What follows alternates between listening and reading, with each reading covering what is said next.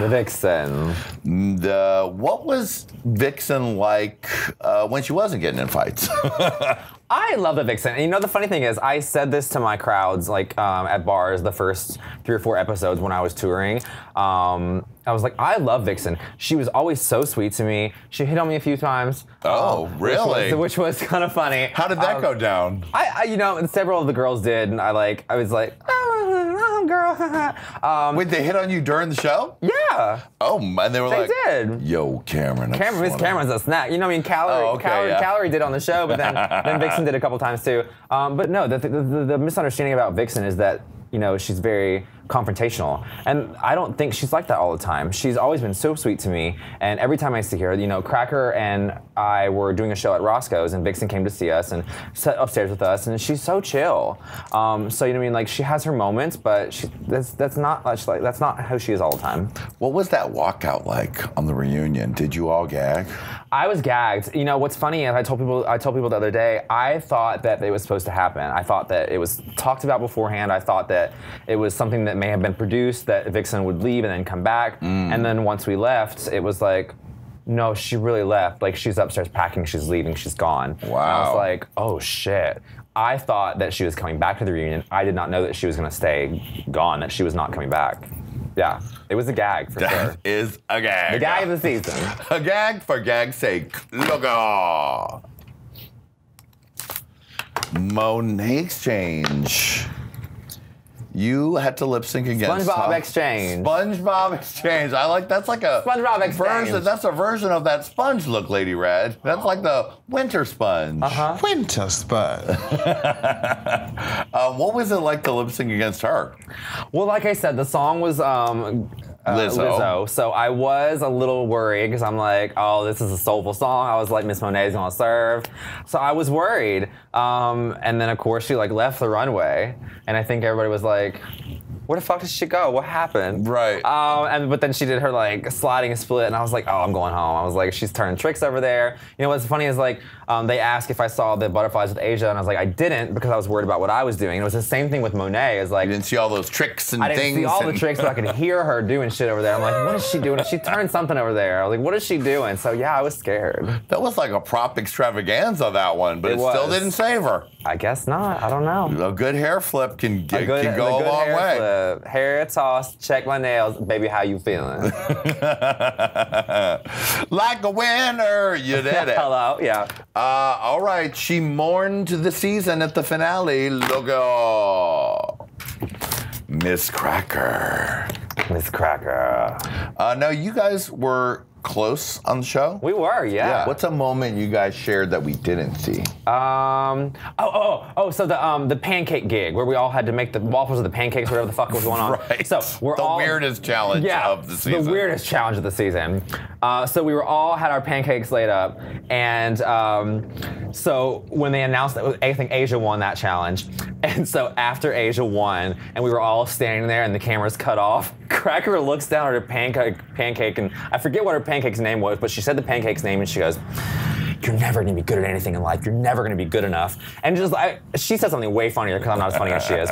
But she said something, and I laughed so hard they literally couldn't bring the cameras back up for a couple seconds because Rue was just staring at me like, can you shut the fuck up? Can you quit? I, I was laughing so hard at Cracker, they had to pause filming because it was so hysterical. Um, was it hard sending her home since you guys were close? yeah, it sucked. It sucked. I thought that was the that was the third time. So at that point, I was like, I said this in the reunion, which I don't know if it was shown or not. Um, I said, do I throw it? Do I throw the lip sync at this point? It's my third time here. Wow. I've had a good run. I didn't expect to make it this far. Cracker is clearly going to be a fan favorite. Do I throw this lip sync? And I said, no, I can't because um, it wouldn't do me or my fans any justice to not try. Um, so I just still did the same effort that I would any other time, knowing that I might send her home and knowing that she would be a fan favorite. And then once the show aired and seeing that she, you know, far surpassed me as fan favorite, I was like, fuck, they're gonna hate me. God, they're gonna hate me. They're gonna crucify me. But I was like, you know what? I still did my shit and I did as good as I could. So. Because you might have wanted to go home, but your hair and your legs said They said otherwise. a different story, and that's what your brain thinks a different story. You get out there, you start twirling. It's like, okay, well, I guess I'm staying. Look at her. Your tour mate, Miss Asia O'Hara. Asia O'Hara. So you guys, so she's having a lot of fun with you on the road. She is. She's asking people if they want to fuck you. She sure did. She is, the, uh, the San Diego Pride gig, girl. oh Lord. Um, I always have fun with Asia. She is. She's she was the mother of the season. Yeah. She's always looking out for everyone. Um, and the San Diego was so. I keep talking about that, but that's the first time that I really saw. Because, like I said, we don't get to tour a lot um, with each other, but now that Asia and Aquaria and I and Eureka are going to be together, I get to interact with them a lot more. And Miss Asia on that microphone was serving it in San Diego, talking to that whole crowd of people, and she was literally like just entertaining them. And it's so awesome to watch somebody be that confident on stage and with a microphone and no music, no nothing. It's just her engaging with the crowd. It's really awesome to see somebody have that much confidence in themselves. With you guys all on tour together, you're doing group numbers, so you're really getting in. Yeah, like getting are. to spend some real time with your sisters. Yeah, we do. So we have a lot of choreography. And I think back to prior seasons and I think back to other Werq the Worlds and other tours that are going on. And it's like, we have the most choreography that I can remember Yeah. of any like touring girls. Um, and I think that shows how strong of a top four that we were, is because we have, you know, uh, Chance uh, doing a lot of our choreography. And there's a lot of expectations for us to do well because, uh, of course, Todrick served us the most choreography ever for Yeah. Drag Race history, her story. Um, that there is that expectation of us to dance now, and I think it's, that shows how strong of a top four we were that we can pull that off. Is Asia doing a butterfly themed number on the tour? You know, I not right now. Okay. I think I may have heard some uh, rumors in the wind. Uh, uh, from River on the East Wind, that she would maybe do something like that. I don't know. I don't want to quote that. I think I may have heard Sure. that, so we'll just have to pay attention and see. I mean, I'm ready for a butterfly ring, butterfly T-shirt, Hello. mechanical butterflies, or Yes. butterflies on strings, whatever She it takes. some- you gotta she needs- she needs some do that drag race thing and own every moment that you were on TV. like mine. Hi, hello, how are you? Exactly. All right. Look out. Your girl, your smoking buddy, your Tennessee sister, your double safe sis. Yes, I love her so much. Um, she was the first queen to really um, kind of try to get to know me. And when I say try to get to know me, I mean she really pushed herself on me. Okay. She was like, "You're gonna be my friend, goddammit, um, and you're gonna open up to me." And it takes people doing that to me to open up because I don't open up easily. And so for her to like poke and prod at me for a long time and finally get me to open up, um, and you can see our friendship progress through the season because she was the person that I would go to for help or uh, for strength when I felt um, not confident in myself. She was like, she's like, "Bitch, you're good enough. Look, you're on RuPaul's fucking Drag Race." She's like, realize that you are worthy and you are good enough to be here. So she was always my um, my talking head back here, telling me that I was good enough and that I, I, I deserve to be there. What was that moment like after that we didn't see after you guys were double saved? Um, both of us were very emotional. I was very emotional because I would have traded places with her, with her in a heartbeat. Um, if I would have, you know, stayed and not her, I would have traded places because I just I'm such a fan of Eureka in general. Um, but it was very emotional because you know a double shantay, especially between two best friends. Because if you saw Untucked, uh, we had that moment out where we were talking beforehand um, about you know my dad and our home lives and her mom, and then for us to lip sync against each other, it was very emotional. And then we both got to stay, which was even more emotional. I know, So it was it was a very good um, moment for us as best friends. Yeah. And are you guys uh, uh, spending great time together on this tour? And like, what is Eureka like on the road? Eureka is so chill. She's so much fun, and we were just in Boston together, actually, um, on with several of the other girls for a season ten um, Dragathon tour. And Eureka and I went to the aquarium together. Oh, that's nice. And then um, I had some friends. Uh, Zach, uh, a friend of mine, is in Aladdin uh, on Broadway in Boston right now, and uh, he gave us tickets. So we went to see the Aladdin Broadway musical. So we really got to have sister time, which doesn't happen a lot. So that Yeah. was really fun to get to hang out with her outside of drag in general. that's good. Yeah. And how are her knees? Everything's good. Her knees are good. She is still serving and twirling and twerking, and we haven't had no any knee issues yet. So I think she's okay. God bless. Yeah. Because all of drag America is like, please keep those Please knees keep safe. knees safe. You know, I, I, she's eating enough protein now, so I think she's good. Though I bet she is. Yeah. All right, last but not least,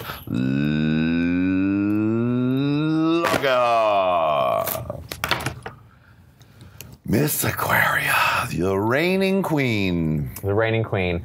I have been a fan of Aquaria long before the show. Um, as were a lot of people on social media. Yeah. Um, she's so talented and she's such a genius. I mean, she's literally a genius. And to be that young and that talented at everything that she does, she's a dancer, she's a great makeup artist. Um, she has her album out now and she's singing. Um, and just how she carried herself on the show. You know, she had a few missteps, as we all did. Um, you know, a couple diva moments. But other than that, to be that young and that poised, God, she's such a fucking star. Yeah. Dude, did you feel like you got to know Aquaria? Because as an audience member, Yeah. and even someone who's interviewed her a couple Yeah. of times, I feel like I know her least Yeah. of any. I feel like she's almost like uh, Britney Spears in that, where she's been doing it for so long and so young that you get the public persona, Right. which is very controlled. Yeah. Did you do you see that, or is that different for you since you're one of her Drag Race sisters? You know what? I think I feel like I get maybe a little bit of a different version of Aquaria than a lot of people do, um, but not that much different. She, Right. She's she's she's very funny. Which I don't. I, nobody expected her to be funny. Nobody Right. expected her to win Snatch Game, and so she's really clever and she's really funny with like the Wakanda fish joke that she had in the reunion, like all the stuff that she does.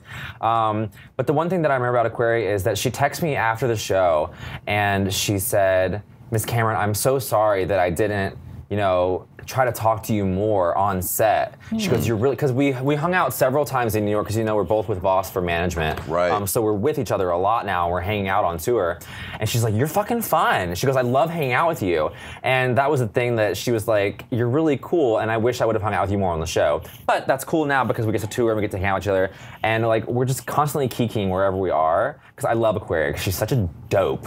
She's she's such a dope. She's really fun, but she just says some dumb shit sometimes, and it just makes you cackle because it's like, girl, you're stupid. but it just makes her so endearing. So I don't know if people get to see that as much as I do, but she's really fun. She's really funny. Great. Yeah. Well, you'll certainly have plenty of time to get to know her more because with the same manager, and you're going to be a lot of the same tours, All sweetie. over the world, Australia, UK, we're coming for you guys. All right. Yes. Well, thank you so much, Kameron. Thank you did you. it. You did it. Give her a round of applause.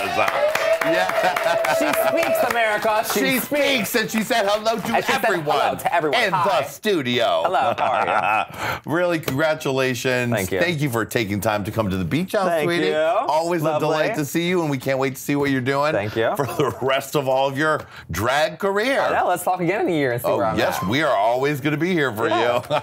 Thank you. Thank you to my beach beauty, Miss Lady Red. and thanks to all of you watching. We'll see you next time on Hey Qween and look out. Bye, baby. Yeah.